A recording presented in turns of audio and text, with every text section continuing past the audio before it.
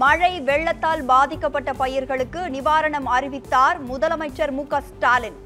முழுமையாக சேதமடைந்த பயிர்களுக்கு ஹெக்டேருக்கு இருபதாயிரம் ரூபாய் இழப்பீடு.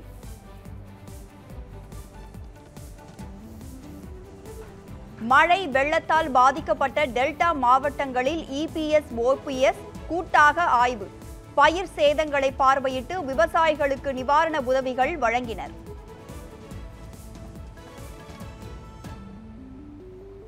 சென்னைக்கு நாளை மறுநாள் அதி கனமழைக்கான ரெட் அலர்ட். வானிலை ஆய்வு மையம் தகவல்.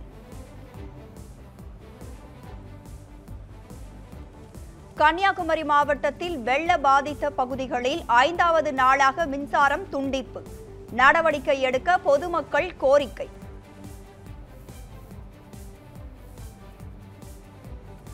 கல்லூரி மாணவர்களுக்கு செமஸ்டர் தேர்வு நேரடி தேர்வாகவே நடைபெறும். உயர்கல்வித்துறை செயலாளர் கார்த்திகேயன் அறிவிப்பு. நடப்பு கல்வியாண்டில் பத்து பன்னிரெண்டாம் வகுப்பு மாணவர்களுக்கு திருப்புதல் தேர்வு. பள்ளி கல்வித்துறை உத்தரவு.